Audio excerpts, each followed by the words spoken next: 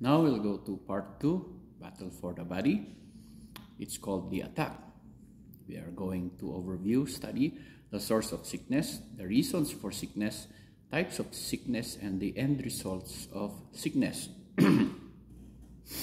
uh, the source of sickness is found in Genesis chapter 1 and 2, the creation of man, and uh, ada yung bilin niya po Diyos. Kaputi pa nagbasol, iso nga nagbalin nga tibagi tayo ket de kunadang agrupsa.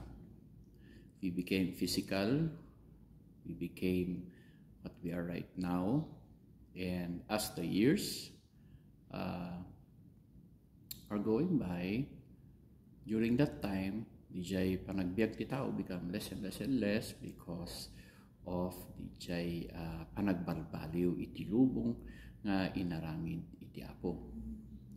The example for this is if you look at the first people, they lived 900, 800, 700.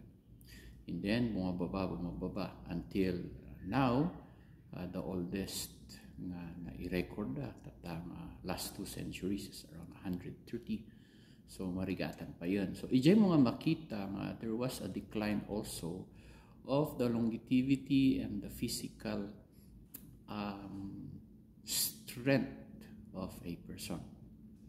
Okay? Balbaling marot ti panawan. Caused by what? Caused by sin. So, uh, Romans chapter 5 verse 12, as by one man is sin, As by one man sin entered into the world, and death by sin, and so death passed upon all men. Adam, then flow basta tinagrugyanan ti uh, panagsakit nga makunkunakan lagi ti diseases. Okay. Satan is the source kasi pagpatay niya, he, came, he comes to steal, kill, and destroy. So, ti sickness, atakan na iti uh, bagi and then sometimes most of the time it also attacks the mind. So uh, no talaga nga pan pan pan pan panunutam it, could, it will be so. That is why some people with sicknesses idin surrender dati bagidan ah napandan kasi so there must be a fight nga mapasamak iti uh, panagbiag ti tumunggal may isa okay. Niya po Diyos God views sickness as captivity, bondage that needs deliverance. Masapro nga umay ti panakawaya-waya matlaang. It's in your syllabus. So you just follow along read lang. And then oppression, oppression, and then uh, enemy, sickness is our enemy.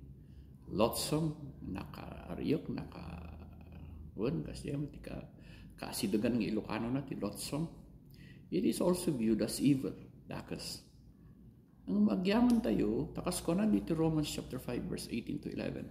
As by the offense of one, Adam, judgment came upon all men to condemnation.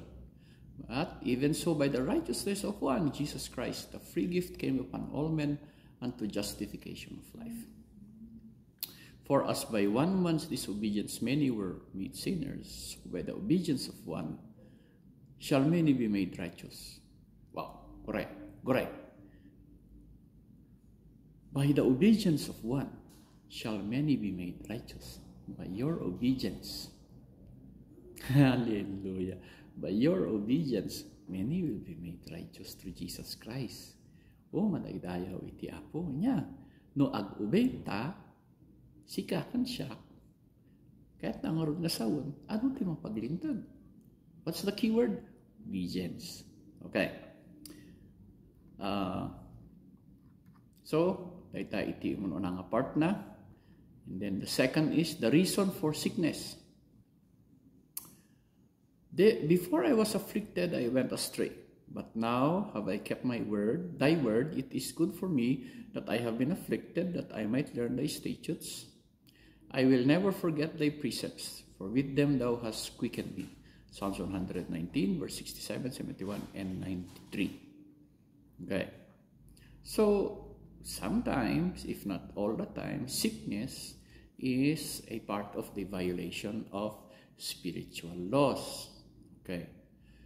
uh, ag-violate tayo. Sometimes the violation is sin. Sometimes the violation is disobedience. Sometimes the violation is not doing what He said that we will do. Sometimes the violation is we are not listening to the Lord God.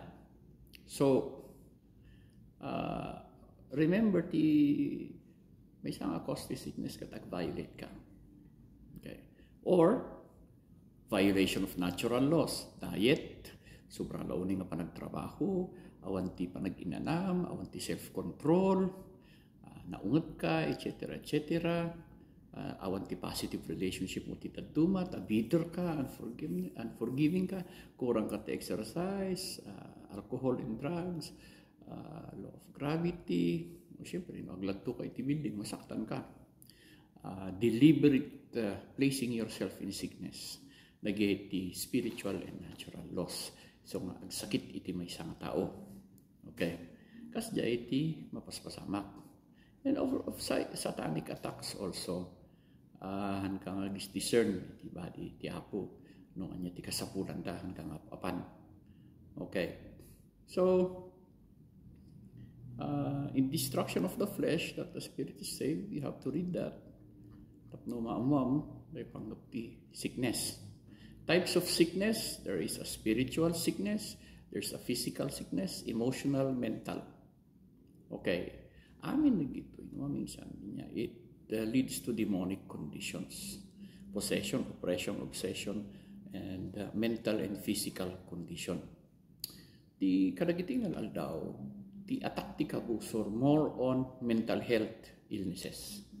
Isu nga mas daawa ta kadagiti nga aldaw nagaduti nakapsot ti kuana ti emotion da lalaki man babae man uh, isu nga ti tulbok na amin daytoy kitaan tayo DJ background di tao baka ti relationship na kiniapo Diyos na po ka na ti fellowship na. Kasjay kasjay. So you read your syllabus and you will find out da dagiti daduma makasapulan ti ka ti root namat lang di demonic influences.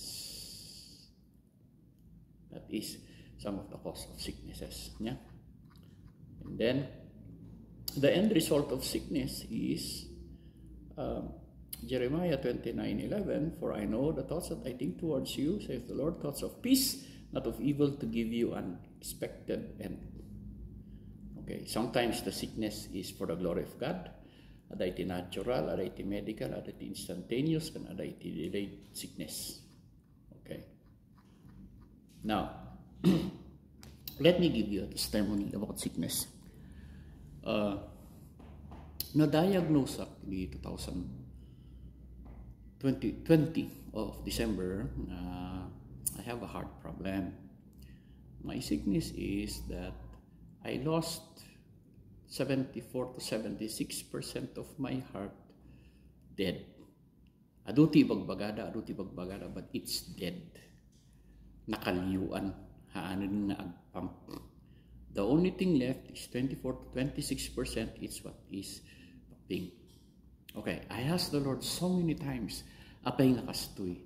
And uh, when you study, deto'y battle for the body, and then nagtimok di ako, then I understand. Number one, I did not take care of my physical body. Number two, um, gapu iti ministry, ada iti nakasaktan, ada iti naging uh, napait nga rik na, uh, you, you, you do not know what I have gone through emotionally.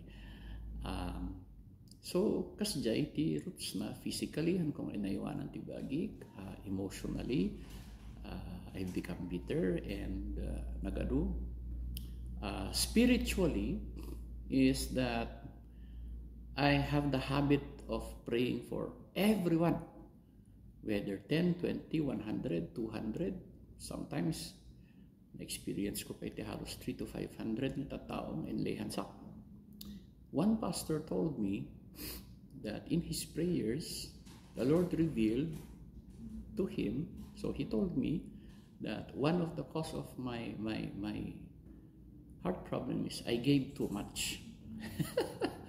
so ako na niya kamartin pastor, isa mo trabaho tayo, we give. I gave too much and uh, too much to many Kajay. So, napuka ko the 74 to 76% of my hair. But mind you, when I am at the back of the pulpit and when I am preaching, the anointing and flow. Ang problema, before and after. Before, I am weak. But once I am in the pulpit, the anointing sustains me. Once I am out of the pulpit, adekan. Iso nga, I am pacing myself. Gyaman ak lang tati apo ta nagaduagay ayam. Nagadumang si schedule kanyak. Ti imas na dagi duma kahit tak nga mamato ijibantay. I could do that. No, ag motor, whatever. No, nung ay dumano na kijay. Di pa inabanbanuga ko na anak ko lang maka-minister. So nga, a call for the younger generation. Agyo da ita. Takayo matinantiyakan. May kayo lang kanyak ta, pakararang kayo ta sa kayo tubo mo nasubos dito banbantay. Amen? Okay. And then, in October of 2021, I felt very funny. Bigla mo nang nakimsutak. Nakapsutak lang mo nun. Kimapsutak mo nung, ah, pwede ito. Step up to. Ah, madi. Then, I really had to go and uh, decided. Ito gamit yung problema ng minsan eh. Uh, nagsakit ti tao, karkaro ti pastor, turog lang dayta, kararag lang dayta. But I noticed I become weaker and weaker. And then when I went to the hospital, you know, test and everything, and you know, all of a sudden they said that I have COVID. But I was not coughing, awan iti plema, but I had COVID. Uh, sabsabali nga klase ti COVID ta virus inatak na di lungs ko. Idi in-x-ray dakot nakadado ti nakadado ti nakaputro sa gabasit di lungs ko meaning to say nagkuan di plema gayam ditoy nagbalay nagstick nagstick ti kinukompormity ti pusok lungs ko. So I spent three days fighting. Nakadangagak pa iti mayat samat na kay ayang day tang abusis ti ubing. so talaga ti kararag ko. I spent 11 days in the hospital but miracle of miracles.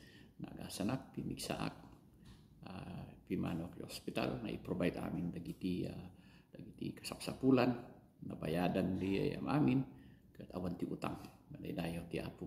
So, What you are looking at right now is someone that is functioning on 24 to 26 percent of his heart uh, functioning no anya ti kantiapo that is why uray no kayat kung apan makitugaw nga makifellowship nga makikasjay mabainak uh, there are times that I need to sit down when everybody is standing up.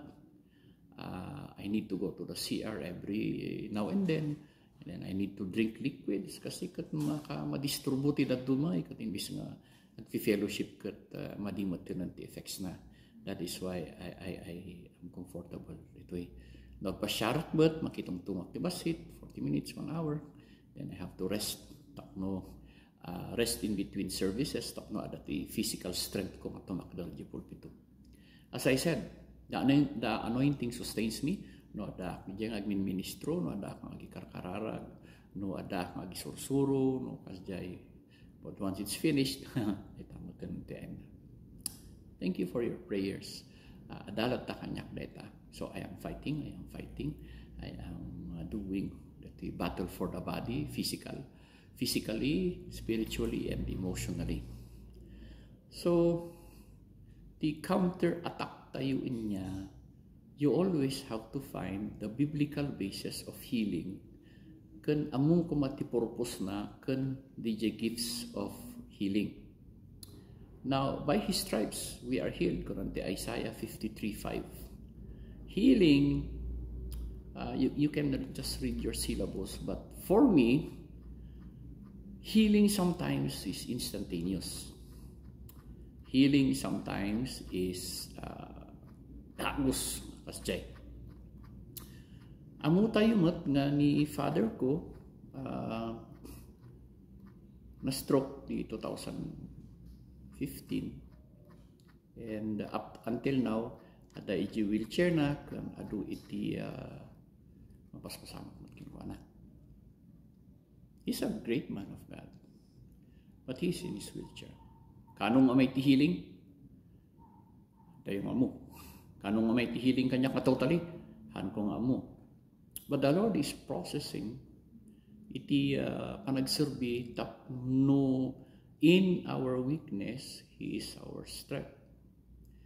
kanyak personally kat nariknak nga dating nga awitak iti bagi.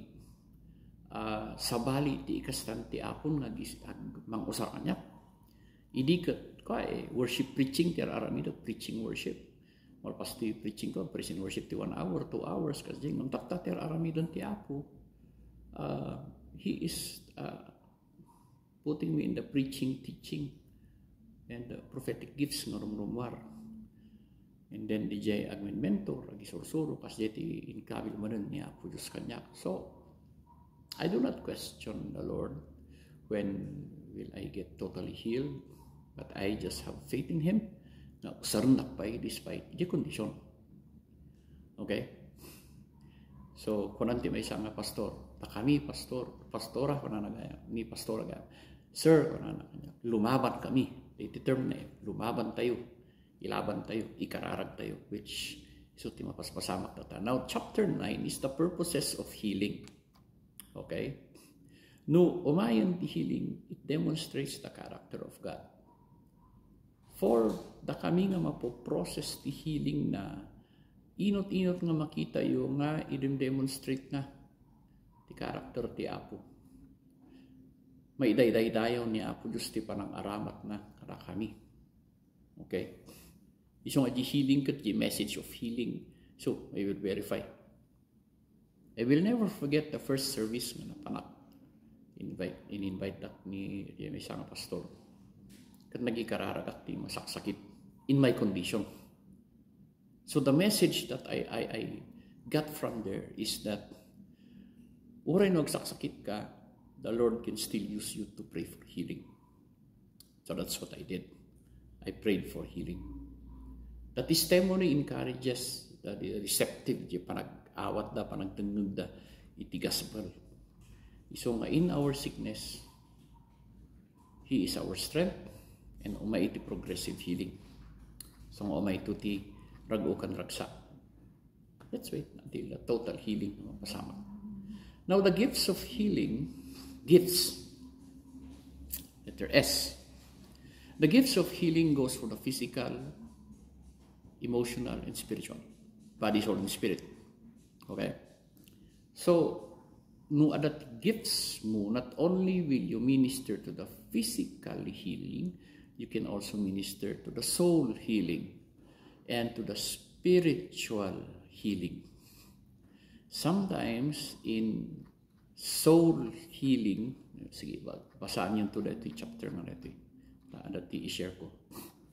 If you go for the healing of the soul, ti may isa nga masapol nga maagasan gamin ti soul niya, di emotion mo, soul ties. Sino tinang igalutam ijay riknam? Sometimes we have separation anxiety Kaya't nang asawon kat no agsina ti friendship, agsakit ka. Anxiety, agworry ka, madanagan ka. Agsina ti agayom, separation anxiety. But most or sometimes, may ti membro kang pastor da, no ada tinag-apaan da, no, ada ti misunderstanding da, it causes sickness because of the soul ties no naigalot ti panunot mo, intellect mo, yung soul mo kin ni Apo Diyos, maapiktaran ka no sumina ka kin ko. Okay? Soul ties. No nakagalot ti jay, jay kararuam, jay emotion mo, jay intellect mo, iti basol. Kat apan ka iti lawag, makat di jay haan mo nga isungay nga dati sakit ladta dagiti dadto mga managbasol nga subli-subli anda tahan nga totally nga nakat ije pa nakagalo ti kararuada ije nga banag. I hope you're following. Yan so apay nga da parang tagbasbasol apay nga da parang kasi una tahan da nga pinuted na talaga ti galot da iti basol when you accept the Lord Jesus Christ as your personal Savior tan naputo din ko ma iti soul tie mo ije basol So mauray panunot mo, uray riknam, uray angot mo, mapiktaran. Nagaruti, nakita nga mamartot. Hindi na isalakan na, naangutan na iti arak, makasarwada. Madida nga angutan. Apaya, napunto dun, ti soltay da ija arak eh. So nga makita yun, nag magmartok talaga nga na gamarda ija, ita di, di kararwada na igalot ija nga pandan. You know why some do not have healing? Because there's a soul tie. Naigalot di kararwada, di thinking da ija sakit. Nya. Iso nga, masapol nga laglagi tayo. But when we are going to minister healing, we pray for healing of the body, of the soul, and of the spirit. Healing of the spirit means that maagasan ijay uh, panagpanaw ni Apo Diyos. Maisubli ni Apo Diyos. Di relationship mo ni Apo Diyos. Healing of the soul goes from the negative to the positive. I hope kada kayo na going through something, you have to cut the soul ties. Okay. The challenge is the tradition of man, the thorn in the flesh, the unanswered questions. Inya dyan tay soul ties. Maikat iti ties mo, iti traditions ti, ti tao maikat DJ panang ay aywan mo, iti torn in the flesh mo. Maikat DJ saan mo panakam mo, kadagiti unanswered questions. That is why in conquering challenges, tikina dayta, awan diti syllabus mo, tikina dayti nga may isa, is that you have to cut soul ties. Maputad ti soul ties tayo awanan ti torn of the flesh, awanan ti dandanag, awanan ti daduma pelita, awanan ti unanswered questions.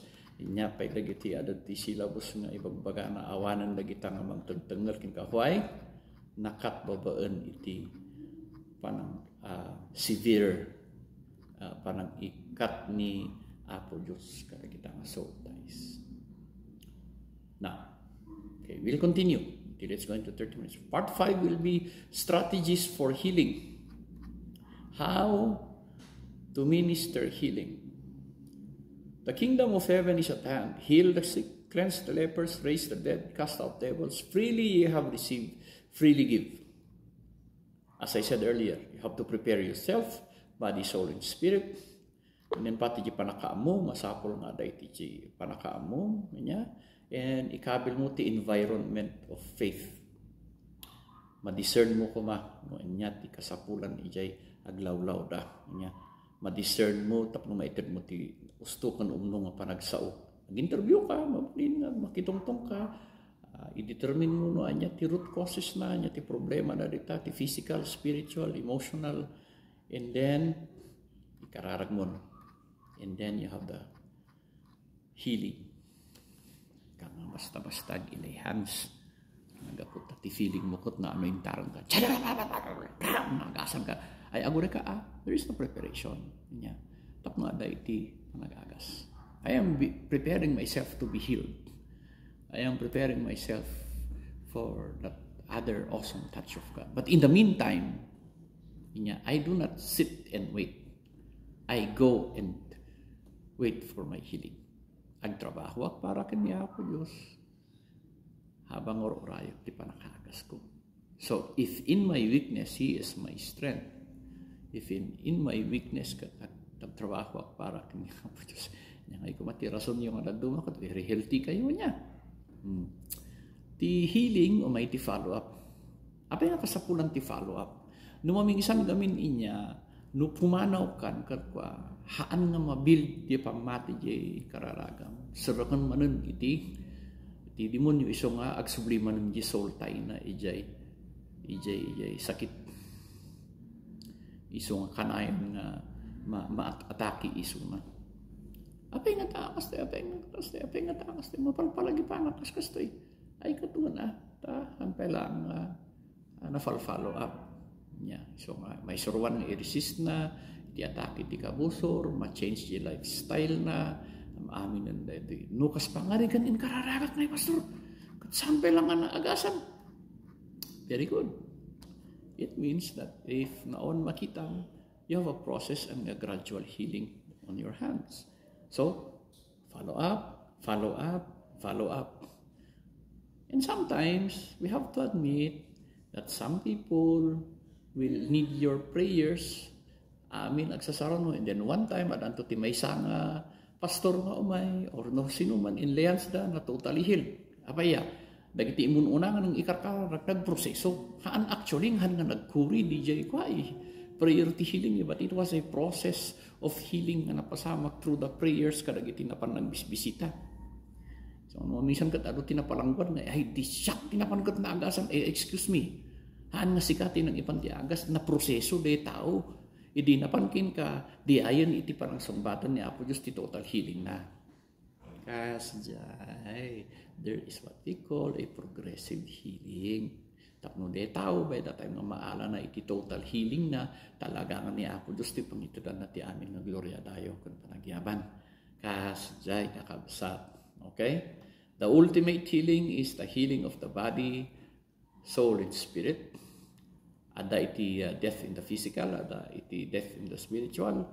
Iso nga kita ang ta, uh, there is healing sakbay nga may iti uh, uh, makunkunang death. The spiritual death mo, mabiyag de tao niya. Gasang eh, maagasan iso na mabiyag mo ti spiritu na. Kasano, parang aramat ni Apo Diyos ka. Very amazing uh, this syllabus is actually an amazing syllabus for the battle for the body. I am giving you an overview. Part 6 is the strategies for deliverance. Dagiti inbalod ni Satanas, dagiti man in-deliver, kanji deliver uh, runs follow-up ministry. Nagadunti i-bound ni Satan. Particularly, nagijay uh, na hereditary uh, na bondage meaning uh, from pagan pagan pagan pagan kasilata or uh, na-curse katam na na-break the curse nagita ti binabalod ni Satanas number two nga bondage ni Satanas jay tao nga nagbasol nagbasbasol continuous lata ma bandage isu na jay ni ko naktatay so ties na i garot gamin di panunot na kan di di emotion na di basol iso may keket ng raramidan so when you minister deliverance nya as I said earlier body soul and spirit cut the soul ties or uh, muno na look for the foundation kita anyo na nya ti you have to do interview so nga masapol no ada kay ti deliverance kan healing ministries kat nalaing ka nga uh, ag interview ag salusod kan ag dengeg nga eh nga ma-discern mo nga ito. Sometimes people will not tell you what really happened ngam by letting them talk rumar kadakwada kat by the discernment given by the Holy Spirit maamu-amno inya itian niya. Now, uh, always, as I said, there should be follow-up, follow-up. As I said, dito church, ada tina-deliver dito eh. Imas na, I, I, I did not discern nga DJ gayam na i-deliver ng spirit na gawid DJ ayanda ta welcome DJ nga spirit di ayanda so hindi nagsubli. In party anda etc di awan mo lang. Pandain for follow up uh, awan mo pa lang ti reports da no anya ti napasama ti in follow up da. That is why we need follow up ministry no ada iti ministry ti deliverance you have to be a tough warrior yeah. uh, My advice, kada kayo mag-enter ti deliverance kag healing ministries, karkaro ti deliverance ministries niya. Laglagi pa na ito eh. No karitom ni Satanas, no kul ditom ti ipos na, no kul ditom ni jay kwa, ang yaman kin kwa na, lumaban ni Satanas. You have to get ready. Niya. He will send all types of devils after you. Niya, tanarangko-rangko dagita nga demonyo eh. No adati archangel adamat ti archdemon. No adamat dagi familiar spirits nga yam amum kan di agpapamilya. Uh, very familiar ken ka kan dagiti kakapamilya nga espiritu. Adamat dagiti wing demons adamat dagiti demonyo anyway i will uh, teach you mutlaan the demonology tapno ada iti part nga ma-recognize tayo mawarningan tayo niya ada dagi da duma nga in extreme da na panda binirok dagi nagnagan dagi demonyo iso ano agi karara ka sika pa ako na i-identify da. Now, when you identify a demon by their name, inya, no ma-expose gamin ti di demon yo, lumaban da. They do not like to be exposed. Devils do, do, do not like to be exposed. That's why when they are exposed, they fight. Apay, maba, maibabain da gamin, you know, na-expose da. So, kaya nga, papanti deliverance ministries, kat you have to be ready. You have to be a fighter. You have to be strong So, nang nagmayat ti Ministry of Deliverance. Question is, are you in that ministry? Are you ready for that ministry? If you are ready for deliverance ministries, agsaka na ka. Yeah. Na kayo nga ubing kat uh, na very emotional kayo kailangan kat isot ataki ti kabusor eh. Emotion. Yeah. Parang pa deliverance ministry agi kararag kasi ka nga mismo uh, at sabsabali nga mariknam madamdama ikarkararagam di kataglag-tulag to di spirit ka na kayo. One time, dati may isang uh, kwa, madip-depress nga estudyante, po ti family problem na uh, madin ti effectnan. Kasabula na ti deliverance. So, dagi, dado mga Bible school, naturod na pa na nagikarag, ti imas na Noan niya di family problem na di nga nagkos iti kas iti panag-atake iti kabusor. Pare-parehas dagayam kadagi jay agi karkararag. So syempre na atake mat lang dagi agi karkararag ta parehas di problema da. Then all of a sudden I ended up praying for six. May may lang di eh. Yung hindi na pandeli man, apiktaran na amin.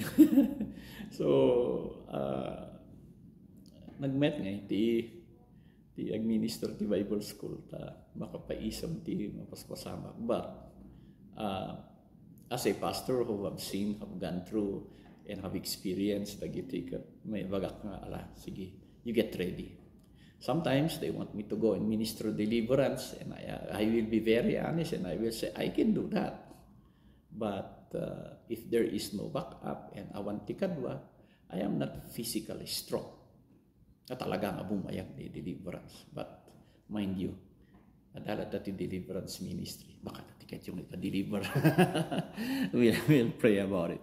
But anyway, uh, battle for the body, dati ti part 6 na dito eh. Nya? So, adu ti kwa na dito eh. Uh, adati isalunsud kat maapiktaran ba ti kaya ba ti demonyo nga apiktaran na giti uh, anak ti apti dapat kumasaan. Nung palubos mo, babaan tinagado nga ruangan, lima nga ruangan, ay kat anya ngay mapiktaran ka. Nya. So, anyway. Nung namati ka nga talaga kanya po, Diyos sana ka masakit di kabusor.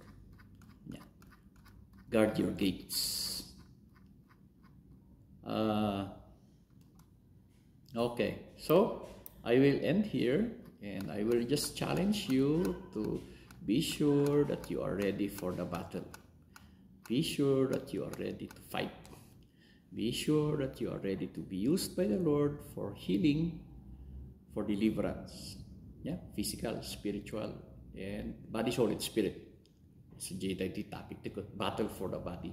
Win your battles, and then you can win other battles. I'm already, I already won my battle. And I just need to pace myself. Kanya. Uh, ti sauti ako kanya kat dagiti na duman haanan na sikati mga ramit. So nga idi uh, iti ministry kat praise and worship and preaching teaching. Now, I have to tell you, da kayo na ubing matunan ati akin bagi ijay. Tama, kababain kayo, No, sakpay lang nga dati rikrik na anak, at sublatak pa niya microphone. Ada ano yung ting yung nadadungan eh. Kasjay. So the Lord said, let the younger ones take care of the worship. Talk no, you can preach and teach and prophesy and pray for people. And pacing na ita. Nya. Kasjay tigay mapasama. Okay?